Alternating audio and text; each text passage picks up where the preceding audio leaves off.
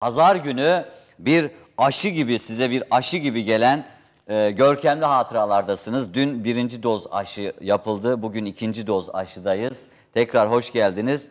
Şimdi Nesimi Çimen'i de saygıyla anıyoruz. O da bu ülkenin çok önemli bir aydınıydı. Belki Mısır'da yaşasaydı bir filozoftu.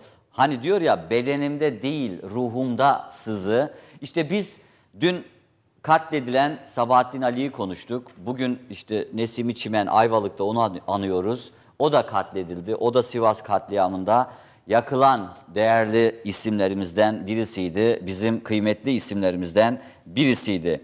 Şimdi elimde bir belge var. Bu belge Deniz Gezmiş'e ait. Deniz Gezmiş'in de yolu Ayvalık'a düşmüş sevgili başkan. Evet. Kısa da olsa gelmiş. Ve o kısa ana da bir tebrikle o anı ölümsüzleştirmiş. Kardeşine Cemil Gezmiş'e buraya geldiğinde denize girdikten sonra oturup bir tebrik kartı gönderiyor. Sevgili Cemil Gezmiş'e tebrik kartında şöyle yazıyor. İşte şimdi göstermek istiyorum. Şöyle tam görebiliyor muyuz arkadaşlar? Geldim. Evet şu an görüyor muyuz? Bu sabah Ayvalık'a geldik. Aklın alamayacağı kadar güzel bir yer. Denize girdik. Deniz gezmiş. Deniz gezmiş. Denizi, Ayvalık'ı işte karde kardeşi Cemil Gezmiş'e böyle anlatıyor. Gönderdiği şu tebrik kartıyla. Evet. Kısa bir Kısa süre bir süre. geliyor. Bir de 29.8.1967. Uzun süre kalmasına izin vermediler zaten. Nevzat Çelik'in buradan gireceğini tahmin ettim ben. bir de Serhan Bey yani tesadüf odur ki şu programı yaptığımız e, koyda denize Bu girdiği koyda söyleniyor. zaten. Evet.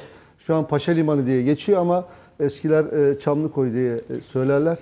E, bu bölgede denize girdiği de e, söylenir. Evet. Zaten biz bu dün akşam yayını yapacağımız yeri başkanla birlikte, e, Sayın Başkanımla birlikte kontrol etmeye geldik. Girişte bu belge vardı. İnanılmaz.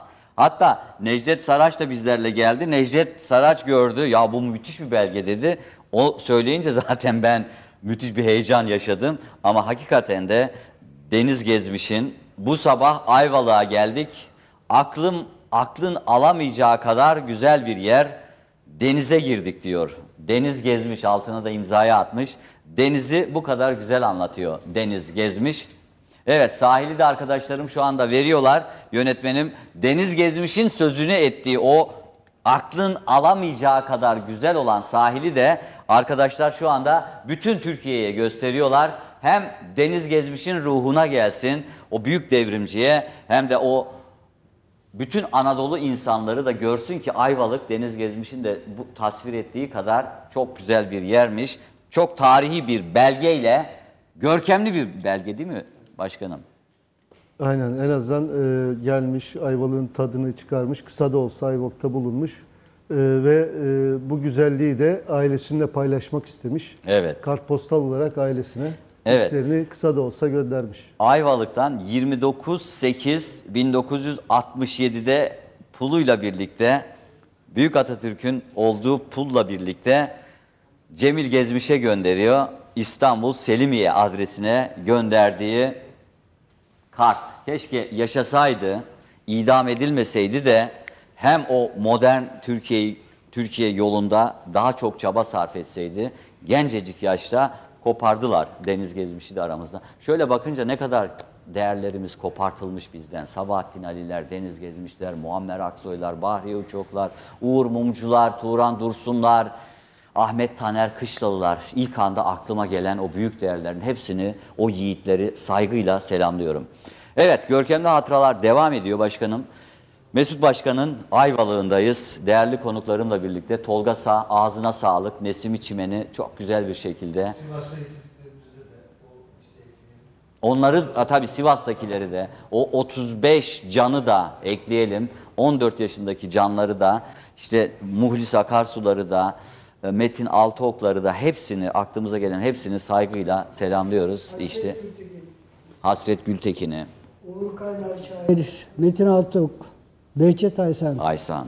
o gencecik, o pırıl pırıl gençlerimiz aydınlarımız, Asım Bezirci yaktılar bu ülkede. Asım Bezirci de burada oturuyor değil mi? Onun eşi de burada yaşıyor Ayvalık'ta. Bu ülkede bizim insanlarımızı yaktılar. Sevgili Seren, çok iyi bir iş yapıyorsun. Burada kimleri anlıyoruz biz? Kimleri anladın sen? E, O kadar çok insan anladın ki değil mi? Ya Nazım'dan başladığın zaman Aziz Nesinler, e, Rıfat Ilgazlar, Ahmet Arif, Enver Gökçe, Hasan Hüseyin böyle e, gittiğimizde ne görüyoruz? Üç ortak özellik görüyoruz. Bu insanlar yaptıkları işi en iyi yapan insanlardı. Şairlerse çok iyi şiir yazıyorlardı. Roman değilse çok iyi roman yazıyorlardı. Bir başka özellikleri neydi? Bunlar e, hepsi daha iyi bir dünya istiyorlardı. Gündüzlerinde sömürülmeyen, gecesinde aç yatılmayan bir dünya istiyorlardı. Bir isteyenler bir de istemeyenler. Bu mücadele süre geliyor zaten. Ve bu insanların bir başka ortak özelliği hepsi e, solcuydu, devrimciydi, komünistti, demokrattı. Yani hep çizginin bu tarafındaydı ve bu insanlar e, büyük e, zulümlere uğradılar. Dün Sabahattin Ali'yi Hepsi anladınız. komünist değildi. İlk, ilk kaybımız ve bu insanı öldürdüler 41 yaşında. Yani edebiyatımızın, öykümüzün başlangıcıdır. Çok büyük bir öykücüydü. Büyük bir şairdi. Onu yok ettiler. 41 yaşında kaybettiler. Bu nasıl bir korkunçluktur. Hepsi hemen hemen cezaevi gördü. Ve bu insanlar e, büyük çoğunluğu yoksulluk içerisindeydi biliyor musun? Yani zaten sistem e, onları yok etmek için e, e, uğraşırken ne yazık ki biz de yaşayanlar da kıymetlerini yaşarken bilemedik. Ya bunu ısrarla e, söylemek gerekiyor. E, bu düşünsenize onlar e, faydalı olabilmiş yani yaşayabilmiş olsalardı bütün ömürlerini bu ülkeye, bu ülkenin geleceğine adayacaklardı. Gencecik insanlarımızı e, öldürdük. Bütün aydınlarımızı, e, geleceğimizi yok ettik ve yok ediyoruz. Bu çok korkunç bir şey. Bugünkü geldiğimiz durum yani bu yüzden Evet. bu yüzden ne yazık ki. Evet ne yazık ki öyle. Şimdi Bekir Cundası'ndan Bekir Sebahattin Coşkun'un. Ali'yi anıyoruz. Buyurun başkanım. Dünden beri e, Sebahattin Ali'nin de Ayvalık geçmişi de var. Evet. Kendisini rahmetle anıyoruz. Yine kız- kızı Filiz Ali Ayvalık'ta yaşıyor ve Ayvalık'ta e, Ayma e, diye kurmuş oldukları dernekle Ayvalık'ın sanat ve kültür hayatına da katkılarda bulunuyor. Kendilerine buradan da teşekkür ediyoruz. Evet. Şimdi elimde e, bir izleyicimiz getirdi. Bekir Coşkun'un Cunda başlıklı yazısı var. 10. köyde. Dün gece kıyıda oturup yıldızları saydım. İki eksik çıktı. Hatırladım gülüm. Efkarlandığım bir gece ikisini kül tablasına söndürmüştüm. Sabahları güzel olur buralar. Kızıl mı kızıl. Güneşin Kaz Dağları'nın arkasından bir çıkışı var. Denizin kokusu, zeytin ağaçları, birbirine girmiş pembe beyaz akasyalar, balıktan dönen tıratalar, nedense her zaman kuşlar uçurur tepelerine diyerek Cunda'yı o kadar güzel anlatıyor ki Bekir Coşkun.